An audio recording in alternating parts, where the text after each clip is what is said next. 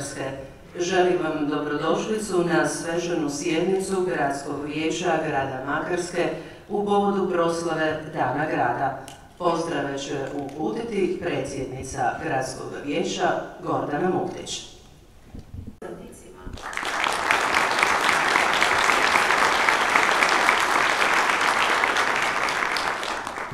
Izaslanika predsjednika vlade Andreja Plenkovića, a ujedno izaslanika župana Splitsko-dalmatinske županije, zamjenika župana gospodina Antu Šošića.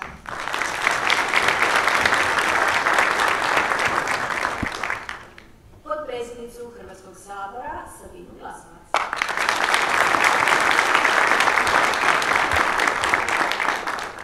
Zastupnicu Hrvatskog sabora i gradonačelnicu Zlatara Jasinku Auguštan Pendek.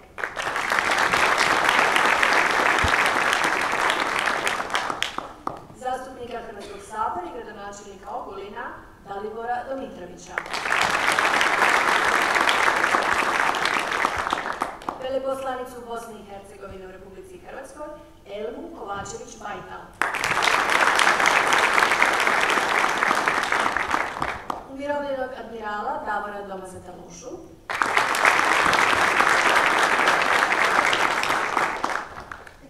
Pozdravljam i dobitnike javnih priznanja grada Makarske za 24. godinu, Domislava Šaškora.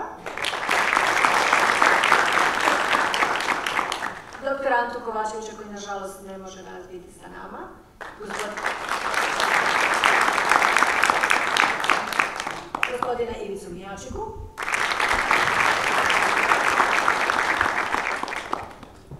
Linu Ricu, kćer posthumne dobitnice Zlatice Rice.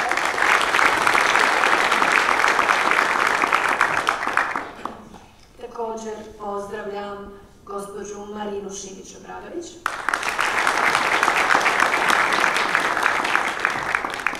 Gospodina Dražena Bogdanovića.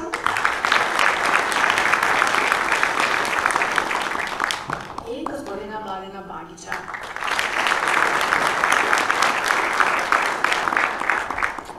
Sa nama su i ove godine naši gradovi prijatelji, pa srdačno pozdravljam delegacije i grada Žakova, grada Vukovara, općine Stari grad Sarajevo, općine Stavić, općine Kavadarci, općine Budva i grada Štajna. Pozdravljam i predstavnike svih drugih gradova i općina iz Republike Hrvatske, kao i gradske vijećnike te predstavnika Srpske nacionalne manjine u gradu Makarskoj i potpredsjednika Srpske nacionalne manjine Splitsko-dalmatinske županije Predraga Arančelovića.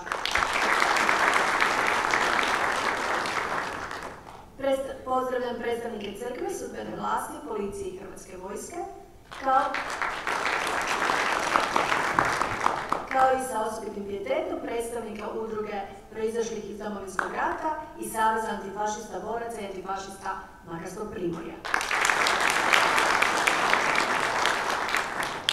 Za kraj pozdravljam i predstavnike gradskih državnih županijskih službi, sve gospodarstvenike, predstavnike medija i naravno sve druge dragi goste.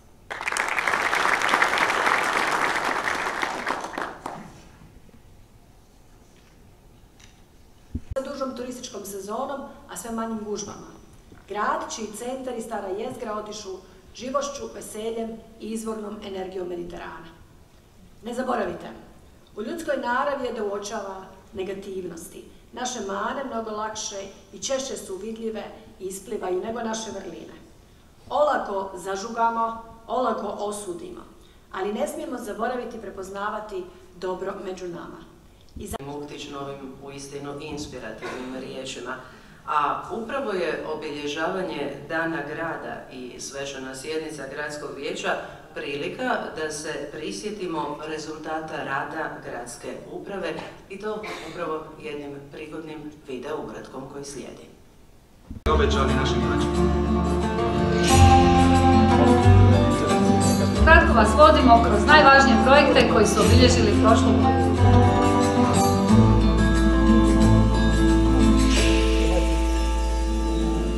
Usvajanje novog prostornog plana stali smo na kraj betonizaciji grada i očuvali naš prostor. Dok smo radili na planiranju, dovršili smo niz projekata koji su učinili naš grad boljim mjestom za život.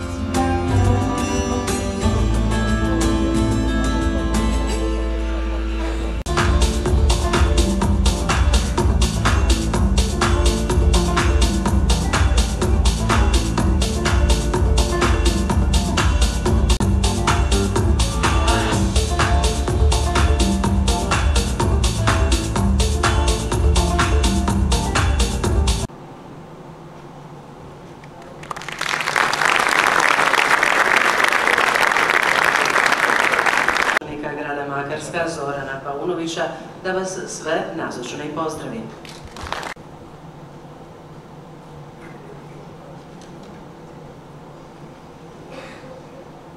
Poštovani predsjedniče Republike, poštovani zaslanici vlade, sabora, županije, cijenjeni gradonačelnici, načelnici, laureati, dragi gosti, dragi prijatelji, sve vas srdačno pozdravljam i hvala vam što ste evo, svojim dolaskom uveličali ovaj naš svečani trenutak.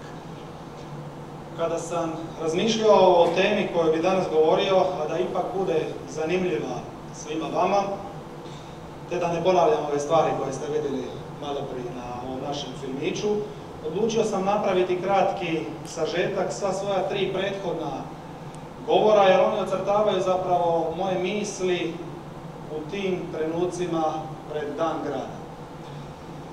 2021.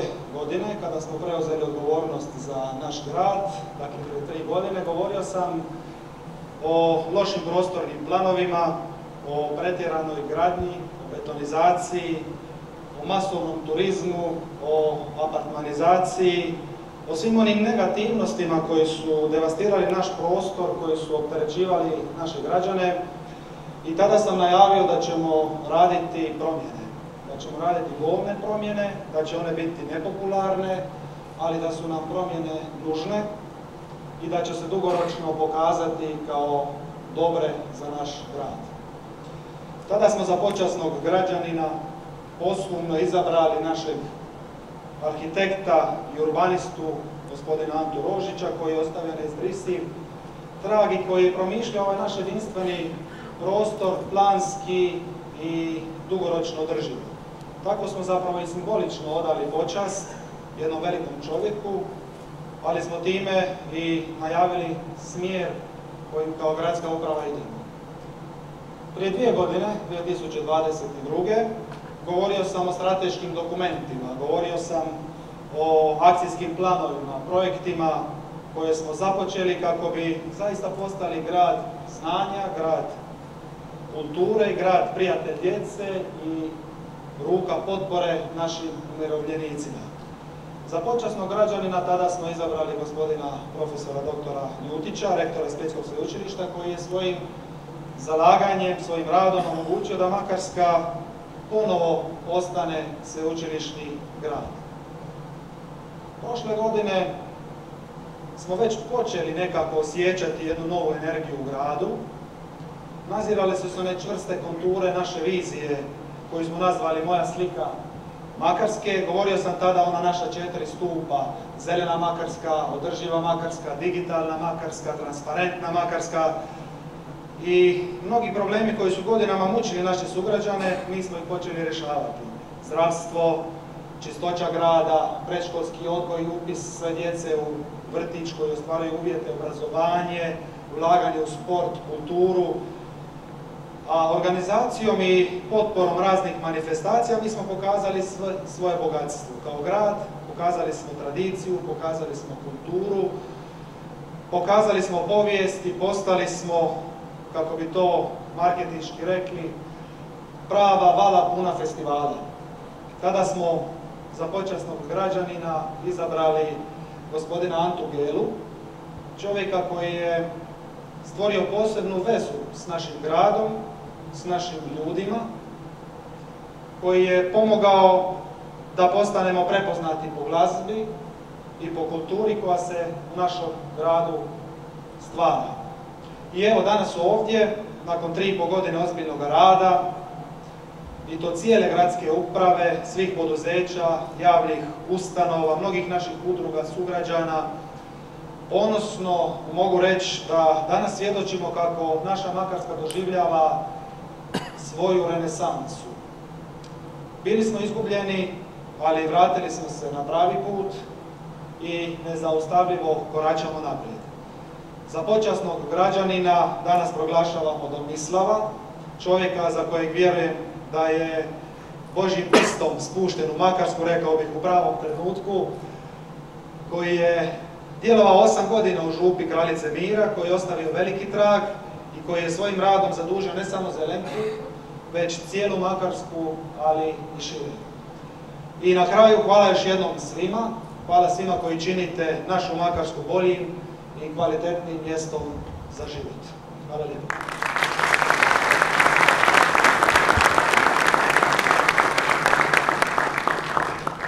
Hvala makarskom gradonačelniku Zoranu Paunoviću, a sada ćemo do naših najmlađih. Znajući koliko je važno čuvati našu baštinu i sve ono što iz nje, rekla bih, izvire, djeca iz učeničke zadruge Make, osnovne škole oca Petra Perice, i ove godine dokazuju e, kako i širenjem znanja i razvijanjem vještina čuvamo tradiciju i obilježavamo dan našega grada. Zato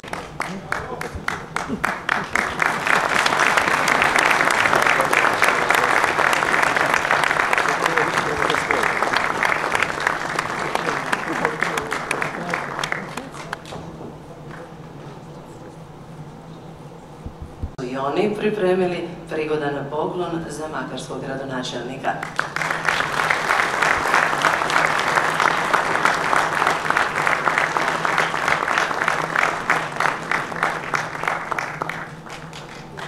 Mi s ponosom možemo reći kako imamo uz brojne velike jednu izvrsnu i uspješnu dječju klapu. Klapu bi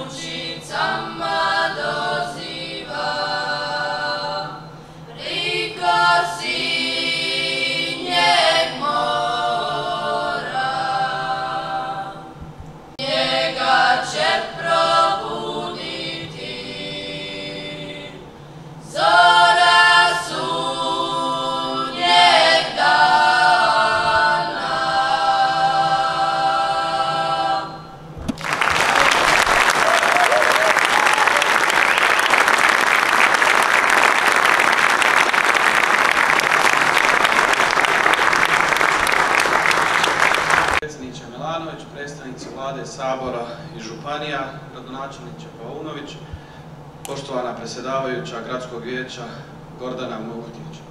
Velika mi je čast ukazana da se u ime svih prijatelja gradova i općina grada Makarske obratim i danas vam čestitam dan grada Makarske. Zaista je lijepo imati ovoliko prijatelja jer to znači da ste onda bogat i grad. Posebno vam čestitao na novom gradu prijatelju iz Savezne Republike Njemačke, gradu Štajnu, koji ste potpisali upravo jučer i zaista vam ovim povodom još jednom čestitam na dobijanju novog prijatelja.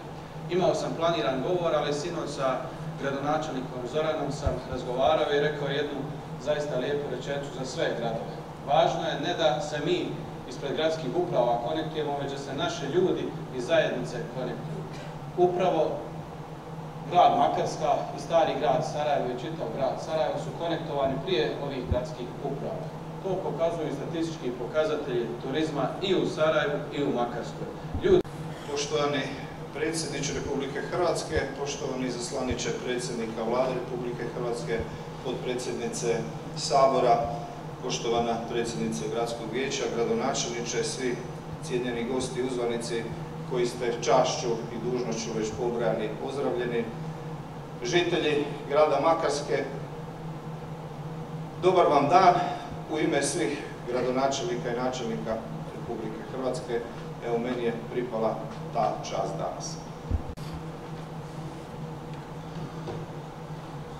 Drage makarke i makarane, poštovani predsjedniče Republike Hrvatske, potpredsjednice Hrvatskog sabora, cijenjena predsjednice Gradskog vijeća, gradonačelniče grada Makarske, sve vas odašlo i toplo pozdravljam primarno u ime izaslano ljudi čiji sam danas izaslanik, predsjednika vlade Republike Hrvatske gospodina Andreja Plenkovića i gospodina Blaženka Bobana, naravno u svoje osobno ime, jer ja sam tu domaći čovjek. Pozdravljam vas naravno u ime Županijske skupštine, tu je kolegica Krčun, pa u ime svih zaposlenika čestitam vam dan grada, posebno vječnicima i vječnicama i naravno građanima grada Makarske.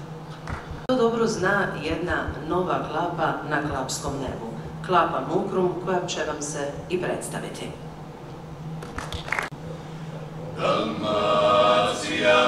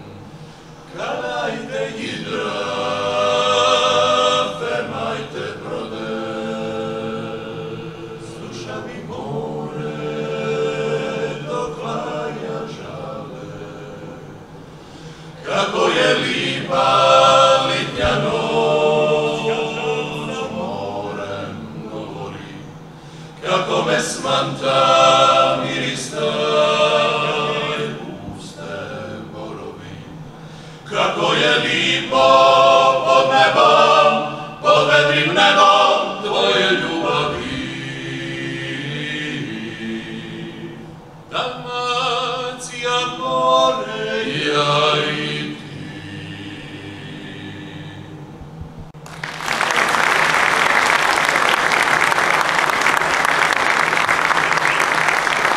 Hrvatske Zorana Milanovića da nam se obrati prigodnim riječima.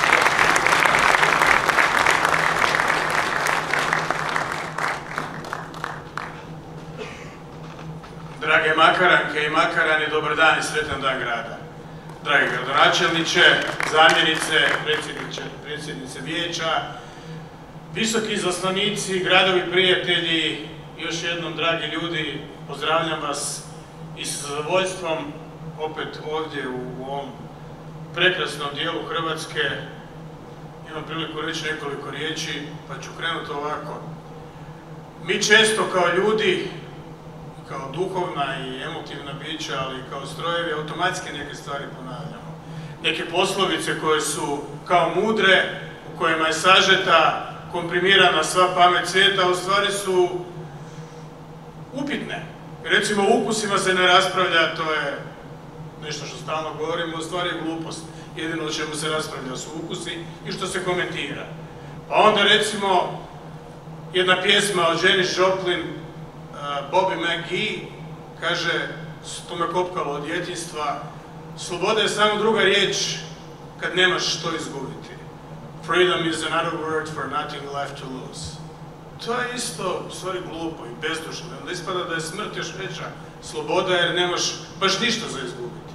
Je li to stvarno sloboda i šta je sloboda i šta u Hrvatskoj 2024. godine predstavlja sloboda i šta nam znači sloboda, kako je sloboda dobivena, izborena, uzeta, oteta, jer ona nije vakum, ona nije prazno stanje.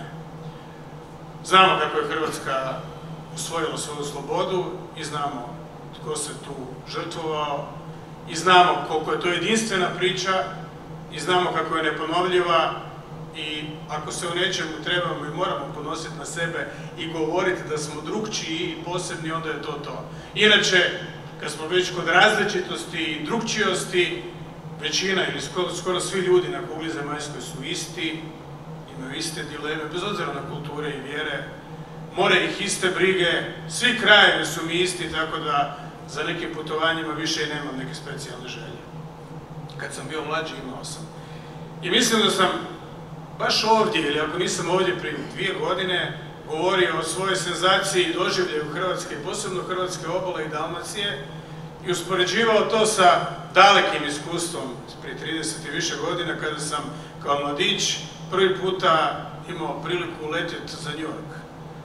I bilo je lijepo vrijeme i ti se spuštaš na aerodrom u New Jersey, u New York i onako zaljepiš nos na onaj prozor od aviona kao kad gledaš u izlogu kolača i ne možeš vjerovati što vidiš i milo ti je fasciniran si i uzbuđen i tako prvi put.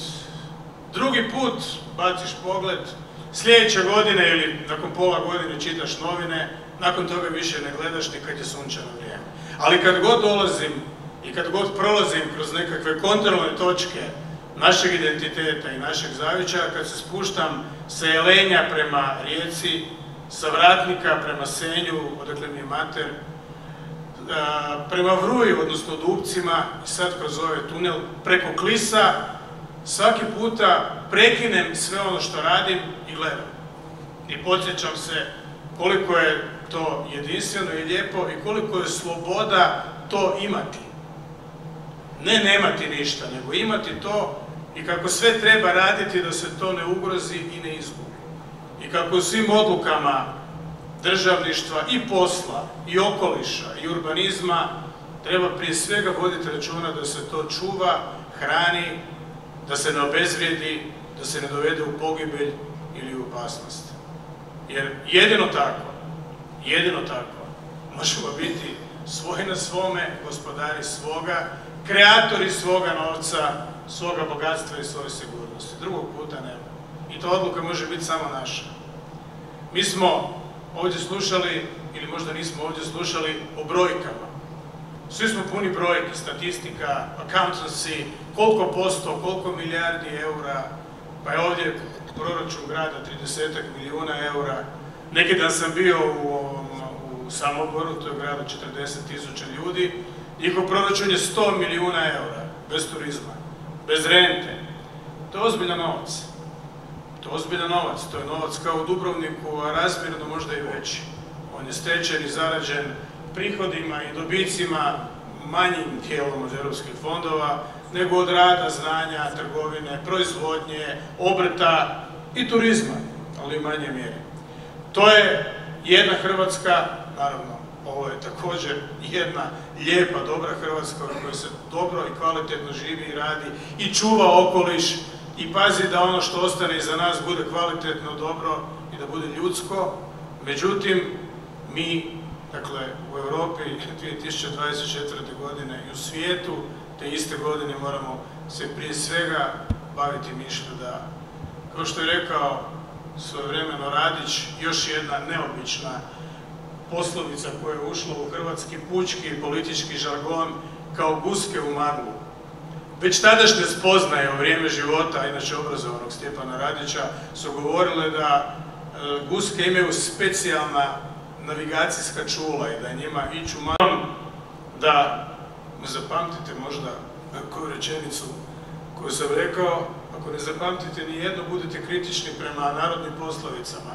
U njima se često skrivaju duboke predrasude i krive poruke, ali prije svega čuvajte svoje, pazite na svoj zavičaj, čuvajte Dalmaciju, jer ovo što Hrvatska ima s Dalmacijom, to je potpuno novi, odnosno potpuno jedinstven hrvatski kontinent i za sam kraj.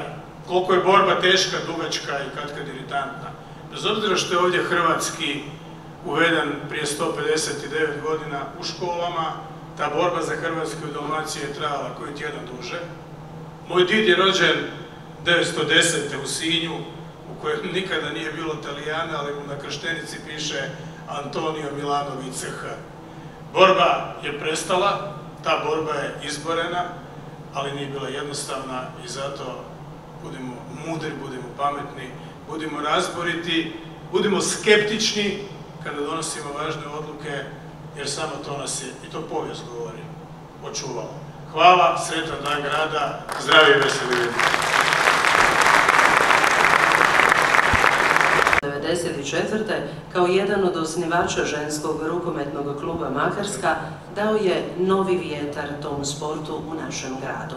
Rukometašice su tih godina nizale brojne uspjehe u drugoj i trećoj ligi Jug, a 1997. godine Mladen Bagić proglašen je i trenerom godine grada Makar. Mladen Bagić dobitnik je i nagrade za životno djelo u sportu i to u povodu 30. obljetnice zajednice sportskih udruga grada Makarska. Plaketu Grb grada Makarska ovogodišnjem laureatu Mladenu Bagiću uručit će makarski gradonačelnik Zoran Paunović.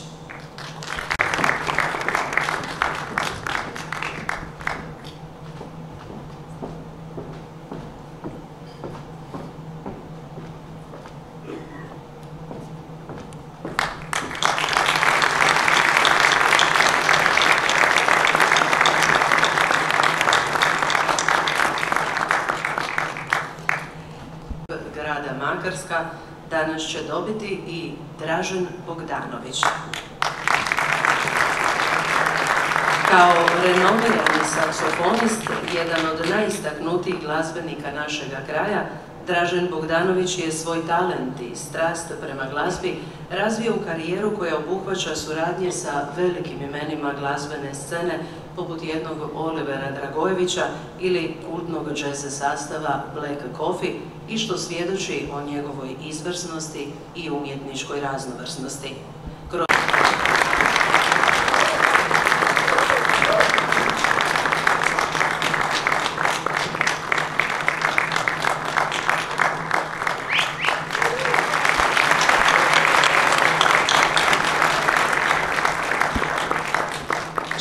Čestitamo Draženu Bogdanoviću, a imamo i dobitnicu plakete Grb grada Makarska, a to je Marina Šimić-Obradović. Makarska dizajnerica Marina Šimić-Obradović prepoznata je i cijenjena od struke, a dugogodišnjim autentičnim stvaralaštvom postala je slavna i izvan uskih modnih krugova. S diplomom Likovne akademije Marina je svoju umjetničku izobrazbu utkala u svaki komad odjeće koji je stvorila uz prepoznatljiv izričaj kojim je vjerna od svojih početaka.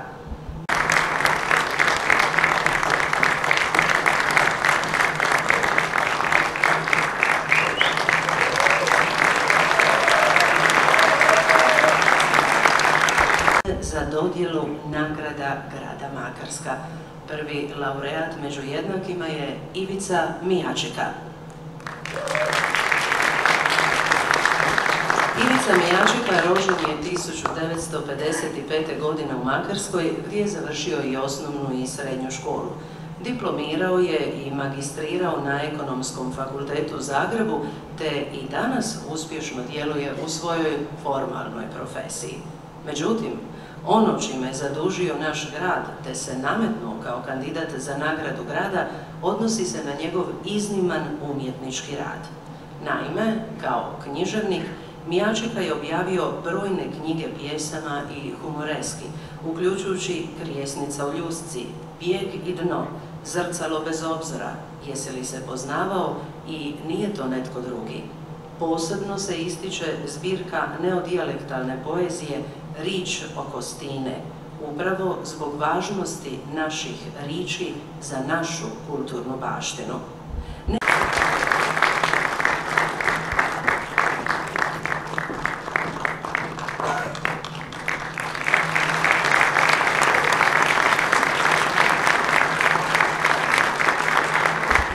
Ovaj put poskumno ide Zlatici Rici.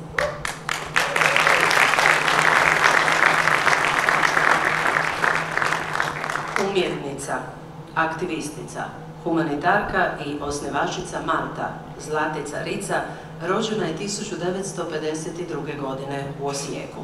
U Makarsku doseljava još kao djevojčica, ovdje odrasta i zasniva obitelj. Iako nas 2008. godine, nakon teške bolesti, napušta prerano, svojim likom i dijelom ostavila je neizbrisiv trag u kulturnom i društvenom životu Makarske.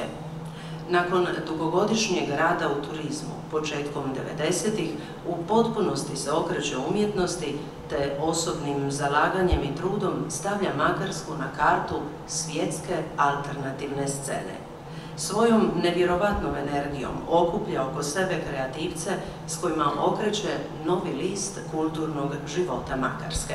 Organizira brojne izložbe, kreativne radionice i performanse, često s naglaskom na socijalna i ekološka pitanja kako u Hrvatskoj, tako i u inozemstvu.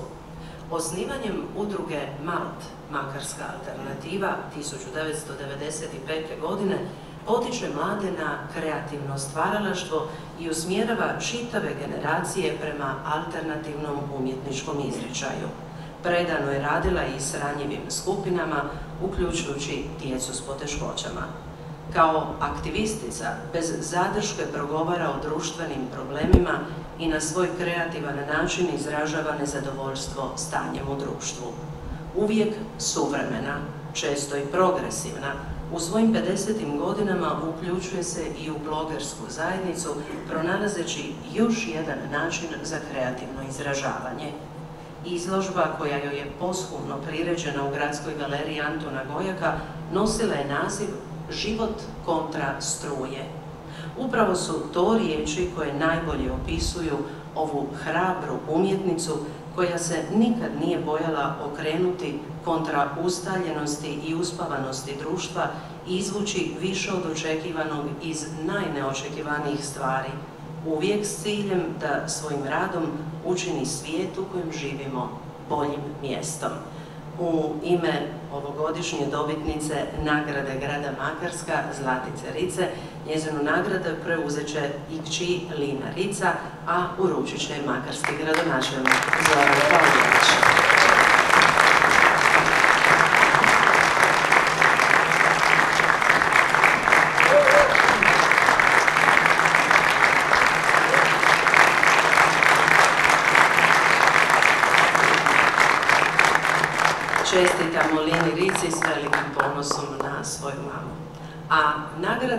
Makarska ove godine ide i u ruke Ante Kovačevića Škice, koji nažalost nije s nama pa će mu nagrada biti i posebno naknadno uručena, ali vrijedi uistinu reći nekoliko riječi. U mnogo puta njima i njihovim nerođenim bebama spasio život. Kako je sport njegova prva ljubav, godinama je bio i klubski liječnik Zmaja, a sam, kao najveću uslugu koju je učinio svijetu, navodi to što je porodio jednog od najboljih hrvatskih nogometaša ikad, našega Alena Bokšića. Suvremenik brojnih velikih i značajnih dalmatinaca, a minutak proglasiti i počasnog građanina grada Makarska. A to je ove godine Dom Mislav Šaškor. Vrijednostima vjere, zajedništva i neobičnog, nesebičnog davanja. Svoju sveženičku službu započeo je u Maloj župi gdje je odmah pokazao izuzetnu predanost i ljubav prema svom pozivu. Kao župnik kraljice župe, kraljice mira, dugi niz godina neumorno je služio našoj zajednici, unoseći toplinu, podršku i duhovno vodstvo u živote mnogih naših sugrađana. Domislavog dolazak u Makarsku označio je novi početak za župu kraljice Mira, koja je pod njegovim vodstvom doživjela pravi procvat. Poznat je po svom neumornom radu na promicanju socijalne pravde i humanitarnom djelovanju, dok njegove propovjedi kirurški precizno adresiraju ključne slabosti našega društva je i Župljanka koju je Don Mislava opisala u nekoliko rečenica, pa ću ih citirati. Za mene je Mislav mladi čovjek čija služba Bogu i Božjoj ljubavi uz jednostavnost i slikovitost komunikacije oduševljava sve koji se s njim sretnu, a posebice se u susretnu s njim maleni.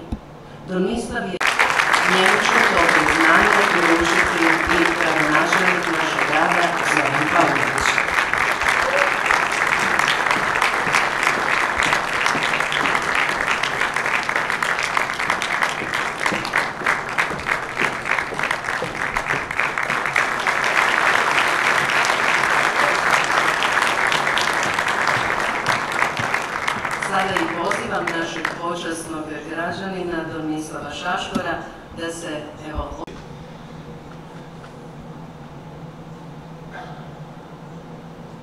Nisam naučen neke velike riči, nego ovako iz srca progovorit u trenutku kako me Bog nadahne.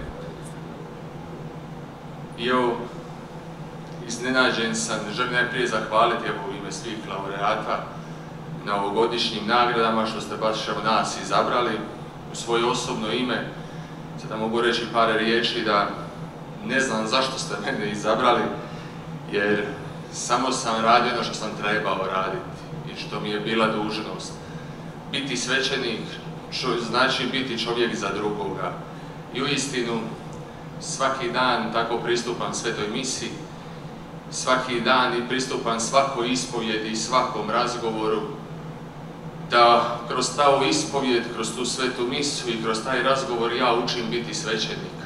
I zato ovu nagradu koju ste meni imenom i prezinom podijelili, ja, ja je dodjeljujem u svim mojim župljanima i svima ovdje koji su, svim građanima grada Makarske, koji su evo pokucali na ta vrata i koji su mi dali mogućnost da otvorim ta vrata i da saslušam tog čovjeka, da saslušam njegovu životnu priču i da koliko je u mojoj ljudskoj ograničenoj i slaboj mogućnosti ponesem dio tereta tog čovjeka.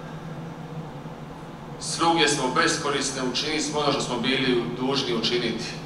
I tim riječima bi opisao ove naše nagrade. Bog nam je dao talent, ja niti sam izvor dobra, niti sam izvor zla. Kako, sam, kako se kroz moje propovjedi i razgovore i susrete prema meni neki ljudi sa mnom u razgovorima sa mnom neki ljudi približili Bogu i crkvi, neke sam u svojoj ljudskoj ograničenosti i slabosti i otjerao svojim možda karakterom, načinom, nastupom govora, možda sam nekad nekoga i povrijedio, pa evo tražim oproštenje od svih. Što se tiče evo kuće, stare kuće, stare crkve Kraljice Mira, ovu bi nagradu, nagradu isto posvetio svim župnicima koji su djelovali prije mene. Da oni nisu to sagradili, ne bi ja imao šta iznajmiti najlakše je bilo potpisati, dogovoriti, povezati jednu drugu stranu, to je piece of cake, nije to bio neki težak posao. Ali evo, zahvaljujem svim svećenicima koji su djelovali u župi Kraljice Mira, koji su svojom požrtvovnošću, svojim radom, angažmanom doprinijeli rastu, duhovnom rastu i razvoju našega grada i naše zajednice. I evo, iskreno, razmišljao sam se, znate ono, evanđelski primio sam svoju plaću. To ćemo čuti na čistu srijedu, uvijek govori se o, o pravednosti, o milostinji, o molitvi. I kaže, primili su svoju plaću oni koji to javno čine i koji su javno dobili pjesak. Iskreno, kad sam imenovan i nominiran i izglasan, razmišljao sam se bili trebao dati tu slavu Bogu i i dajem je, uistinu zahvaljujem, ali bili treba odbiti tu nagradu. I onda kroz molitvu sam došao do toga da je ta nagrada koju mi je grad udjelio jedna oaza, oaza koja nije razlog da ostanem u toj oazi, nego da nastavim živjeti dalje i da noseći prime, primajući tu nagradu uistinu budem i dalje dar za drugoga. U oazi se ne živi, u oazi se umire. Od oaze se živi kroz pustinju, kroz svakodnevicu i svakodnevni križ noseći ga iz dana u dan i pomažući drugim ljudima ponijeti dio tereta. Pa evo zato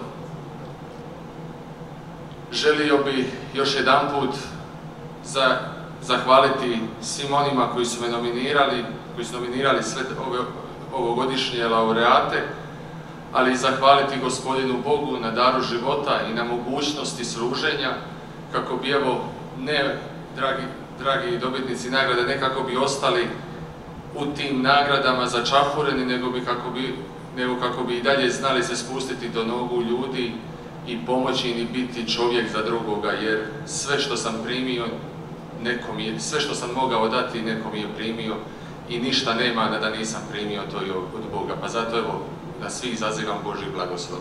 Bog vas blagoslovio i hvala.